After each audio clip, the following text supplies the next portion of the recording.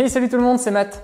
Voilà maintenant 6 ans que le pneu Michelin Anaki 3 était apparu sur le marché du pneu trail et donc forcément avec une aussi longue carrière, il était temps pour ce pneu 10% off-road de tirer sa révérence. Personnellement, je ne les regretterai pas car je n'en étais pas très fan. J'avais pu les essayer sur la BMW F750 GS lorsque j'avais pu la tester fin d'année dernière et vraiment ils ne m'avaient pas vraiment convaincu. Ils étaient globalement assez bruyants, ils étaient corrects sur le sec, moyens sur le mouillé et franchement pas top on va dire pour pouvoir rouler dans les sentiers.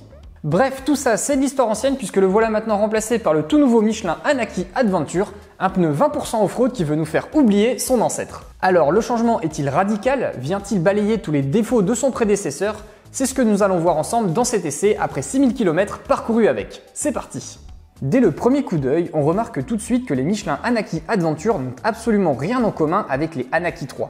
La forme des pavés et des sculptures sont totalement différents, les espacements entre les pavés sont plus conséquents, on voit bien visuellement la bascule vers un pneu 20% off-road. D'ailleurs, on constatera que les rainures sont moins nombreuses et plus étroites sur la bande centrale. Cela devrait permettre normalement de réduire les risques de bruit et de vibration, on en parle juste après. L'entaillement plus conséquent sur l'angle permettra de son côté de mieux évacuer l'eau sur route détrempée. Ces entailles sont d'ailleurs reliées par de la gomme afin de limiter au maximum la déformation quand on attaque bien fort dans les virages. Outre le dessin retravaillé, c'est surtout la méthode de fabrication qui a été revue afin d'y intégrer des technologies permettant de meilleures performances et surtout une longévité accrue. Et cela passe par de nouveaux composés Bigum appelés 2CT pour le pneu avant et 2CT+, pour le pneu arrière. Pour chacun de ces composés, la bande centrale, qui représente 60% de la largeur du pneu, utilise un mélange plus dur que sur les côtés afin d'obtenir une meilleure longévité et une déformation minimale. Pour les zones proches des bords du pneu, soit 20% de chaque côté du pneu, elles utilisent une gomme plus tendre, favorisant ainsi le grip et la remontée d'informations. À l'arrière, la particularité du composé 2CT+, consiste à avoir la gomme centrale dure en sous-couche de la gomme latérale pour rigidifier encore plus le pneu afin d'améliorer la tenue de cap. C'est particulièrement pertinent pour les maxi trails qui sont souvent lourds et puissants. Concrètement, tout cela a été mis en place avec trois objectifs en tête.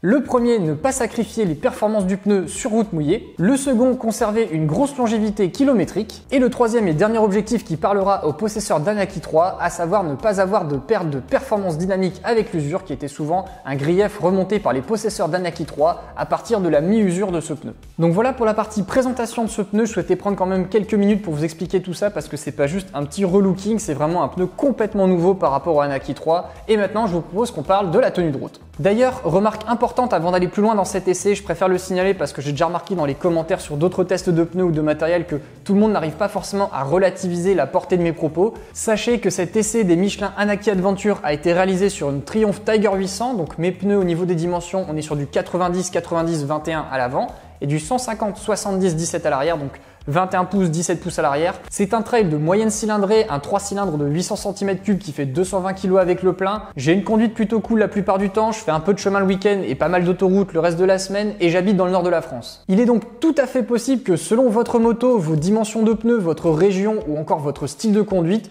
votre avis soit différent de ce partage d'expérience. Merci donc de prendre en compte cet élément si vous souhaitez nous partager votre retour d'expérience en commentaire de cette vidéo en donnant un maximum de détails pour comprendre votre contexte, car nous sommes tous différents et nous avons donc tous des attentes différentes vis-à-vis de nos pneumatiques. Si vous avez déjà regardé d'autres vidéos sur ma chaîne YouTube, vous avez dû constater que je roule habituellement en pneus à crampons.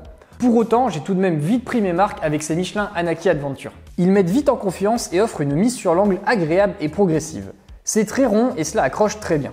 On peut pencher bien fort dans les virages, accélérer en sortie, cela colle parfaitement à la route et je n'ai jamais eu de décrochage même en conduite bien dynamique ou sur des freinages appuyés. L'adhérence est de ce fait très bonne et mon traction control ne se déclenchait qu'à de rares occasions, gage d'une excellente motricité. Même sur une bande blanche sèche, il ne décroche pas et c'est un vrai plaisir de rouler avec ces derniers au quotidien. Le freinage est vraiment bon, c'est stable et il n'y a aucun décrochage ou guidonnage lors de freinage d'urgence ou sur les freinages de bûcheron en conduite sportive. J'ai pu expérimenter cela hein, grâce à quelques voitures qui se sont mises à piler comme ça devant moi sans mettre de clignotant et ne m'ont jamais fait défaut dans ces situations critiques. Sachez également que l'ensemble est très stable à haute vitesse et je n'ai jamais ressenti de vibration ou de tremblement au niveau du guidon à 130 km/h, voire plus encore, hein, puisque l'indice de vitesse maximale de ces pneus c'est un indice V, mais promis, j'ai testé ça en Allemagne. Côté bruit, ils sont globalement silencieux pour des pneus trail. J'insiste sur ce point, mais ce ne sont pas des pneus routiers, donc on ne peut pas les comparer à des pneus purement routiers comme les Michelin Road 5 Trail par exemple. Il y a quand même des gros pavés, des rainures assez importantes, mais pour autant je n'ai pas remarqué de bruit parasite ou dérangeant au global. La seule plage de vitesse où j'ai remarqué que ces Michelin Anaki Adventure faisaient un bruit notable, c'est entre 95 et 105 km/h. Donc vraiment, c'est une plage de vitesse où normalement vous n'êtes pas super souvent. Mais voilà, à vitesse stabilisée entre ces 10 km/h là, j'ai remarqué que ça faisait un petit peu de bruit. Par contre, si vous roulez aux vitesses habituelles en France, donc à savoir 30, 50, 70, 80, 90, 110, 120, 130, là, je n'ai pas remarqué de bruit particulier. Donc clairement là-dessus, ça n'a rien à voir avec les Michelin Anaki 3. Les Anaki 3, je trouvais quand même globalement, ils étaient bruyants sur pratiquement toutes les plages de vitesse. Même à basse vitesse pour des pneus aussi routiers, ça me surprenait qu'ils fassent autant de bruit. Ça devait être sûrement le dessin qui faisait ça. Là avec cela, en tout cas, le problème est bel et bien corrigé. Après, bien entendu, je le redis, mais j'ai un 3 cylindres de 220 kg tout plein fait et non une grosse allemande en bicylindre qui fait 250 kg voire plus. Donc il est tout à fait possible que tout ce que je vous dis là au niveau performance sur route et surtout au niveau du bruit généré, bah, ce soit différent avec une autre moto ou un autre pilote. Je vous précise tout ça parce qu'il faut savoir que Michelin a re-signé avec BMW pour équiper deux séries toutes ces BMW 1250 GS et GS Adventure avec ces Michelin Anaki Adventure donc forcément, j'ai pas testé moi ces pneus sur une BMW 1250 euh, qui est beaucoup plus grosse, beaucoup plus massive et beaucoup plus lourde. Donc c'est tout à fait possible que ce soit un petit peu différent avec cette moto. Quoi qu'il en soit, pour l'usage du quotidien ou pour du touring, je pense qu'ils seront tout à fait adaptés et au final, c'est un peu l'essence même du trail, hein, le quotidien et le touring. Donc franchement, ils devraient tout à fait faire l'affaire si vous avez envie de vous en équiper pour pouvoir rouler sur route avec.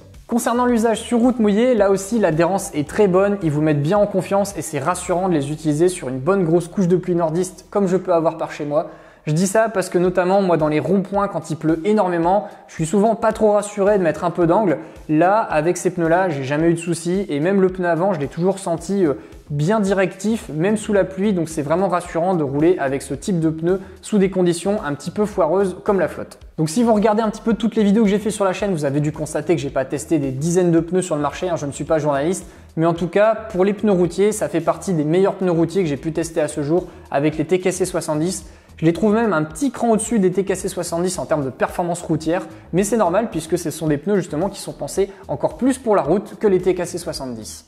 Sur les gros freinages sous la pluie, là aussi, mon retour d'expérience est vraiment positif. Mon ABS se déclenchait beaucoup moins qu'avec les pneus d'origine que j'avais sur ma Tiger 800 au tout début, qui étaient les Bridgestone Battlewing 501, les BW 501. Là, l'ABS a tendance à quand même beaucoup moins se déclencher, même en cas de freinage d'urgence. Donc ça, pareil, c'est vraiment rassurant parce que ça indique que le grip du pneu est vraiment très bon et qu'il arrive à suivre même sous la pluie. Cela glisse toujours un peu, hein, mais quand vous couplez donc ces pneus avec le traction control et l'électronique de votre moto, cela évite de vous retrouver à terre quand vous vous retrouvez à freiner sur une bande blanche. Après, évidemment, rouler sous la pluie, c'est tout de même pas mal de bon sens. On va adapter sa conduite, on va rouler quand même beaucoup plus cool, beaucoup plus posé, mais pour autant que ce soit dans les situations du quotidien ou dans les situations d'urgence, je me suis toujours senti en sécurité et en maîtrise de ma Tiger avec ces pneumatiques. Abordons maintenant l'efficacité en tout terrain de ces Anaki Adventure. Et là, clairement, ils m'ont surpris. Je m'attendais à quand même quelque chose de vraiment pire en termes de performance tout terrain. Et là aussi, ça n'a rien à voir avec l'Anaki 3. Vraiment, ils ont monté le niveau. Et ça fait plaisir parce que là, on a enfin des pneus qui permettent d'aller s'aventurer dans les chemins, donc les chemins secs. Hein. vous allez voir, on en reparle juste après et une fois apprivoisé, on se prend même à jouer en fait avec les pneus en faisant bah, des dérapages de l'arrière, en faisant des contre-braquages au niveau de l'avant en sortie de virage pour pouvoir justement reprendre de la vitesse. Donc c'est vraiment fun et on a un bon feeling en fait avec le pneu avant, mais également avec le pneu arrière dans des conditions optimales de tout terrain, à savoir des chemins bien secs. Pour autant, même si on s'amuse à faire des dérapages, à faire des grosses accélérations dans la terre ou bien alors dans les cailloux, ils ne souffrent pas spécialement en fait au niveau usure en faisant ça, puisqu'ils ont ce renfort en silice qui leur permet d'éviter de s'user inutilement, donc vous pouvez tout à fait aller faire du chemin de temps en temps. Ça leur pose pas de problème, vous n'allez pas complètement bousiller la longévité de ces derniers. En revanche, pour des passages qui sont dans des sols meubles, donc je pense par exemple à du sable, à de la boue, à des grosses couches épaisses de gravillon, Là, clairement, il faut éviter. Ces pneus sont à proscrire. C'est vraiment pas des pneus qui sont adaptés pour faire ce genre de choses. Je pense quand même qu'ils ont la tête de l'emploi. Hein, ça se voit. Il n'y a pas un seul crampon à l'horizon. Donc, n'espérez pas avoir le moindre grip dans des surfaces meubles. Ils seront pas du tout prévus pour. Donc, sauf si vous êtes un pilote pro et que vous avez l'habitude de savoir rouler avec n'importe quel type de pneu dans n'importe quel type de situation, je vous conseille clairement pas d'utiliser ce genre de pneus si vous avez prévu de faire du gros off-road avec. C'est pas du tout prévu pour ça. Parce que bon, même s'ils ont le marquage Mud and Snow, hein, le fameux M plus S, ça veut pas dire pour autant qu'ils vont être adaptés pour pouvoir rouler efficacement dans la boue et la neige. Vous allez globalement perdre tout le temps l'avant, vous allez tout le temps un peu vous gameler. Donc vraiment, euh, c'est pas le bon plan pour faire ce genre de choses. Je ne vais pas m'étaler hein, sur ce point du choix des pneus puisque j'ai déjà fait une vidéo complète sur comment bien choisir son pneu off-road pour sa moto. Donc je vous mets le lien dans le descriptif de la vidéo si ça vous intéresse, comme ça vous pourrez y jeter un œil. Cette avant-dernière partie, je vous propose de parler donc de l'usure et de la consommation de ces Anaki Adventure. Donc comme vous pouvez le voir, là ça fait 3 mois et 6000 km que j'ai pu rouler avec. Je les ai démontés hein, pour pouvoir tourner la vidéo et comme vous pouvez le voir, bah, il n'y a pas beaucoup d'usure. Ils ont perdu quelques millimètres mais pas grand chose hein, par rapport à l'origine.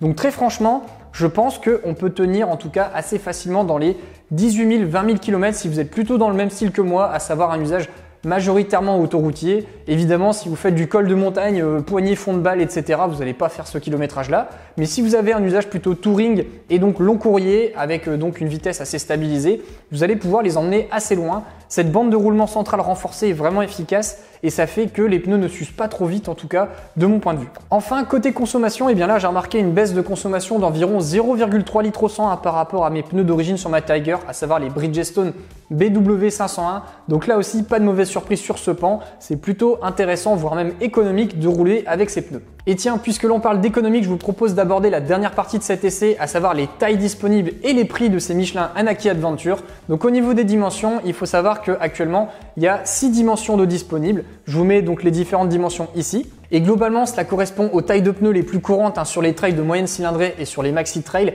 Bien entendu, il va y avoir trois dimensions supplémentaires qui vont sortir au mois d'août. Et donc, avec ces trois dimensions supplémentaires, cela devrait couvrir à peu près toutes les tailles possibles. Enfin, au niveau des prix, sachez qu'il faut compter environ 225 euros pour le train complet sans le montage. Évidemment, ce prix va varier en fonction des dimensions que vous prenez, donc ce sera sûrement plutôt à la baisse. Là, je vous ai donné le tarif maximum quand vous cumulez les deux ensemble. Ce sont des prix hein, que j'ai relevés sur le site allopneu.com puisque c'est grâce à eux et Michelin que j'ai pu tester ces Anaki Adventure. Donc un grand merci à eux de m'avoir fourni cet échantillon pour pouvoir les essayer. Ce qui fait que côté prix, ça fait plaisir parce que c'est une nouveauté et pour autant, bah, elle n'est pas plus chère que les autres pneus premium du marché. Elle est même un petit peu moins chère. Donc ils sont vraiment now bien placés et ça c'est vraiment intéressant surtout en regard de la longévité kilométrique qu'il leur semble possible d'encaisser. Bon ça y est, je pense que l'on peut définitivement enterrer les Anaki 3 et accueillir à bras ouverts les Anaki Adventure. On est vraiment sur des pneus qui sont complètement différents le changement pour le coup est vraiment radical. Ils sont performants sur route sèche et sur route mouillée. Ils sont agréables en termes de performance dynamique. Bref, j'ai vraiment passé un bon moment à rouler avec ces pneus sur route durant ces trois derniers mois. Pour le off-road occasionnel sur du sexe, la passe, mais gardez bien en tête que ce ne sont des pneus que 20% off-road.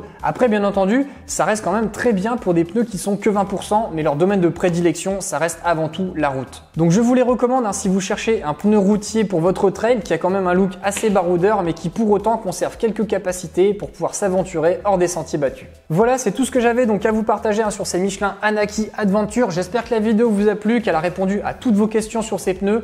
Comme d'habitude, si vous souhaitez retrouver une version écrite de cet essai, n'hésitez pas à regarder l'article sur mon site motaradventure.com. Comme ça, vous pourrez avoir quelques photos supplémentaires et retrouver le texte de cette vidéo. Un grand merci encore à allopneu.com et Michelin de m'avoir fourni cet échantillon. Ça m'a permis comme ça de pouvoir les essayer sur ces trois derniers mois. Comme d'habitude, si vous avez des questions, n'hésitez pas à les poser en rubrique commentaire sous cette vidéo. J'y répondrai avec plaisir. Si vous avez aimé ce test, n'hésitez pas à laisser un petit pouce vers le haut. Ça fait toujours plaisir et ça encourage. Et si vous êtes sur ma chaîne pour la première fois par le biais de cette vidéo, bienvenue et n'hésitez pas à vous abonner grâce au bouton que je vous mets juste ici.